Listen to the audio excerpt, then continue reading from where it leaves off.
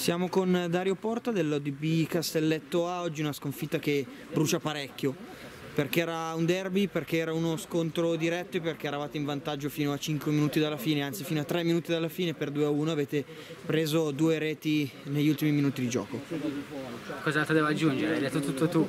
Ero brucia, eh, stavamo vincendo, il 2-2 è stato anche fortuito perché era un cross in mezzo che è finita dentro in maniera beffarda, diciamo che solitamente non parlo dell'arbitraggio ma stavolta non posso che dire che è stato uno dei più boh, dei meno coerenti che ho visto in questo campionato, in ogni caso merita loro, all'andata sono riuscita a strappare la vittoria in casa loro, al ritorno l'hanno vinta loro. Adesso dobbiamo riprenderci, ci sono ancora tanti punti da mettere in cascina per provare a salvarci e, e uscire dalla zona di retrocessione. Vediamo di mettercela tutta. E...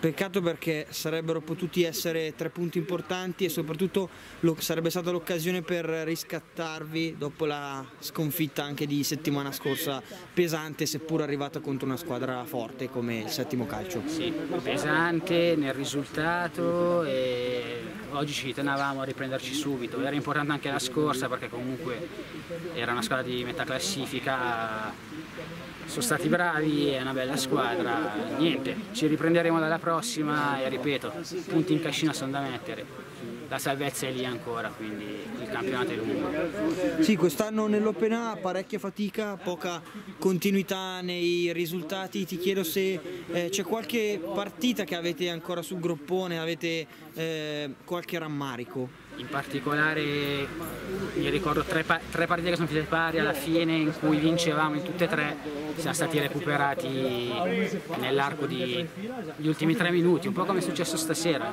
Una vinceva mi sembra di 3 o di 2, siamo andati a finire una 4 a 4. Quelle partite là sono state sul gioco anche giocate meglio dell'avversario, credo, alla fine della fiera eh, mancano i punti. E e niente, non sta girando bene perché il gioco non è manco così carente, purtroppo la fortuna dei Mancano i risultati. Esatto.